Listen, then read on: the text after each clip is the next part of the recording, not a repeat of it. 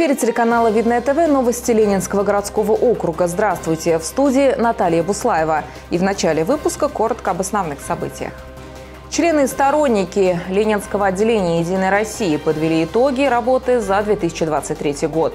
Нам всем необходимо хорошо, качественно поработать на земле с, с тем, чтобы избиратели оказали ну, правильный, нужный уровень доверия. Расскажем о работе педиатров детской поликлиники города Видное.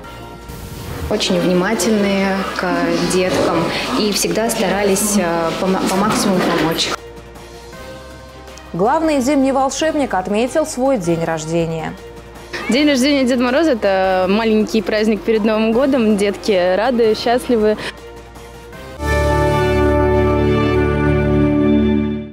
Члены сторонники Ленинского отделения «Единой России» приняли участие в партийной конференции. На ней были подведены итоги работы за 2023 год. Их озвучил председатель Совета депутатов округа, руководитель фракции «Единороссов» Станислав Радченко. А об основных тезисах доклада расскажет Максим Козлов. На партийной конференции традиционно присутствуют не только члены «Единой России», но и сторонники партии, представители администрации и Совета депутатов, общественники. Начиная подведение итогов деятельности партийцев на территории муниципалитета, председатель Совета депутатов округа, руководитель фракции «Единой России» Станислав Радченко озвучил главный результат проделанной работы. У нас наблюдается позитивная динамика. С 32 места мы перешли в зеленую зону и входим в топ-15 лучших отделений партии. При активном участии рядовых партийцев, депутатов фракции, членов местного политсовета молодогвардейцев, наших сторонников в третьем квартале 2023 года мы занимаем десятое место в общем рейтинге муниципалитета Подмосковья.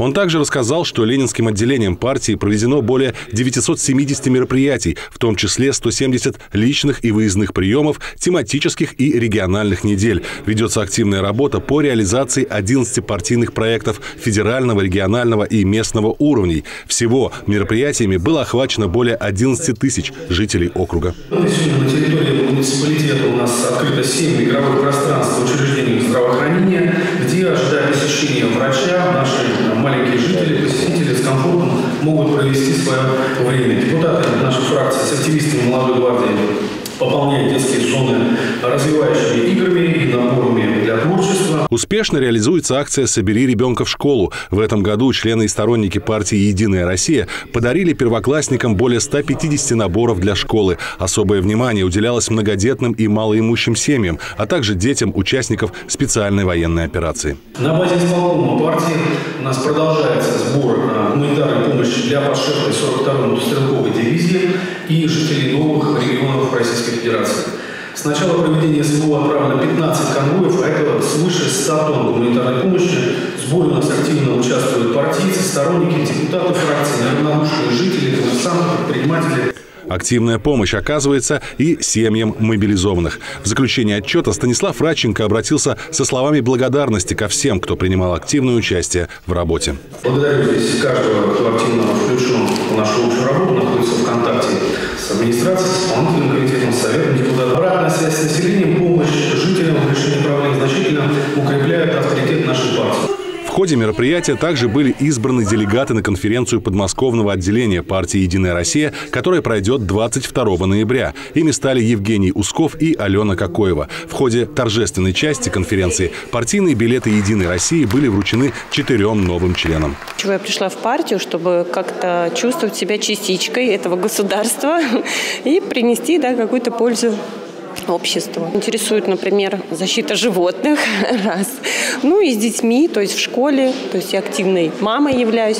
Резюмируя результаты работы в уходящем году, глава городского округа, секретарь местного отделения партии «Единая Россия» Алексей Спасский отметил, что один из важных результатов всех реализуемых проектов – это показатели выборов различных уровней, на которых партийцы неизменно получают значительную поддержку граждан.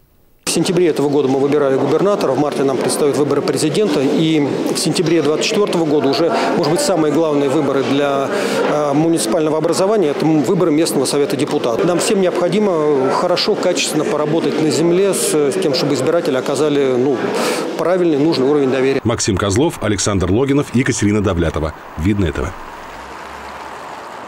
20 ноября отмечается Международный день педиатра. Он посвящен ответственной профессии детского врача, который заботится о самых маленьких пациентах. К празднику мы подготовили сюжет о педиатрах Видновской детской поликлиники. Педиатр – ответственная квалификация, в которой важен профессионализм. Сказать о том, где болит, малыши могут не всегда. Нужен специалист, который выявит проблему и поможет, без чьей-либо поддержки. Мне нравится наблюдать за их ростом, развитием, э, вообще смотреть, как они растут, развиваются. Да, очень интересно за ними наблюдать. Это позитивное э, общение с ними. Педиатры должны находить подход ко всем детям, а это талант, данный далеко не каждому. Работу педиатрии отмечают как взрослые, так и дети. Мы очень любим нашу поликлинику и нашего врача Артамонову Наталью Николаевну. Она очень э, нас любит, и мы ее любим. Она нам помогает со всеми болезнями справиться. И я считаю ее самым лучшим специалистом. Приходится обращаться часто. А, к счастью, нам встречались только очень воодушевленные своей работой врачи, а, которые, видимо, делали свой выбор сознательно, идя в эту профессию, а, очень эмпатичные, очень внимательные к деткам и всегда старались по, по максимуму помочь. Мне нравится больше врач-педиатр, потому что он хороший. Профессия детского врача всегда останется востребованной. На данный момент в детской поликлинике трудятся 22 врача-педиатра. Каждому плотная запись. На приеме педиатр может быть от э, значит, 15 минут на приеме. Вот у него 6-часовой рабочий день, он обслуживает там 36, 36 человек по записи. И может еще или 10, или может 20 вне записи принять. Все зависит от сезонности. Сегодня у нас начались каникулы, поэтому поликлиника сегодня у нас такая спокойная. Специалисты рассказали, как у них в поликлинике будет проходить день педиатра. По всей Московской области все врачи-педиатры должны будут подключиться к селектору и будут поздравлять замминистра а, Московской области Елена Валентиновна Зинатулина, главный педиатр Московской области Несот Джумаевна Одинаева, Поэтому это очень приятно. Во всех чатах педиатров, участковых педиатрах Московской области, в наших чатах эм, идут поздравления. Детский врач – это прежде всего про любовь к ребенку и желание помочь. Поздравляем каждого педиатра с профессиональным праздником. Инга Янчук, Сергей Ларин, Екатерина Давлятова, Видное ТВ.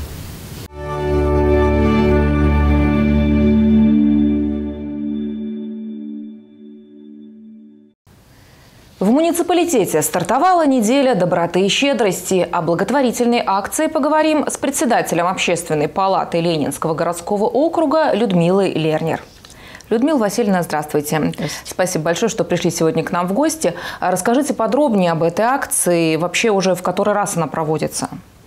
Э, действительно, с сегодняшнего дня, из 20 ноября, это с сегодняшнего дня по 26 ноября в Ленинском городском округе будет проходить неделя доброты и щедрости. Инициатором этой акции э, являются Общественная палата, э, Ассоциация председателей Совета многоквартирных домов и Коррекционный совет общественных объединений Ленинского городского округа.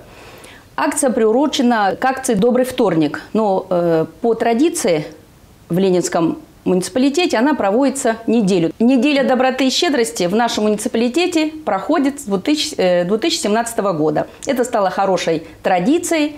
Мы привлекаем как можно больше с каждым годом э, неравнодушных жителей, которые помогают людям остро нуждающимся э, в различных направлениях. То есть это и материальная помощь, это и продуктовые наборы, это и различные мастер-классы. Э, у нас участвуют э, по традиции салоны красоты, то есть они предлагают различную помощь мамочкам, дети, детям с ограниченной возможностью. Это и прическа, и маникюр, и брови, и реснички, и реснички, и ухода, уход за кожей. То есть то, что себе не каждый раз может мамочка позволить.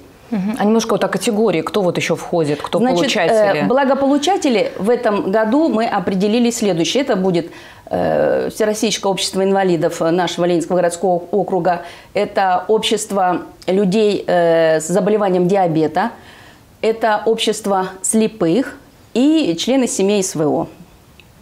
В этом году э, как отмечаете? Намного больше вот организаций принимают участие, то есть согласились, да, принять участие? Да, вы знаете, Неделя доброты стартовала сегодня, первый день, но многие э, жители, предприниматели, общественники уже внесли свой вклад, уже приняли участие. У нас уже были поездки в театр, у нас были э, мастер-классы, у нас уже были материальные помощи. То есть э, люди уже заранее, зная, что в ноябре традиционно у нас эта неделя стартует, с удовольствием звонят, спрашивают, куда что принести, кому как помочь.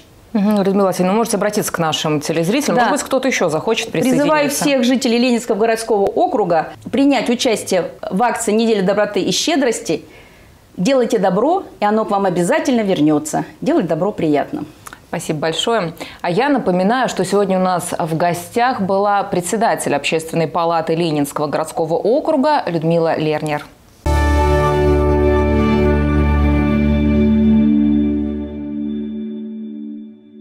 В России отметили день рождения Деда Мороза. Массовые гуляния прошли в Центральном парке города Видное. Поздравила нестареющего душой волшебника наш корреспондент Юлия Стаферова. Дед Мороз – один из самых любимых сказочных персонажей у детей. Изначально он был воплощением зимнего холода, снегопадов и метелей. Со временем его образ стал ассоциироваться с празднованием Нового года и Рождества. Добрый волшебник предстает в образе старика в шубе с седой бородой. А 18 ноября в России отмечают его день рождения. День рождения Деда Мороза – это маленький праздник перед Новым годом. Детки рады, счастливы. Для того, чтобы поздравить Деда Мороза, в Видновском центральном парке организовали развлекательную программу с интересными конкурсами, викторинами и мастер-классами. Помогали проводить мероприятия аниматоры в костюмах Снегурочки, Снеговика, Панды и Винни-Пуха. Песнями развлекал собравшихся Борис Гуреев.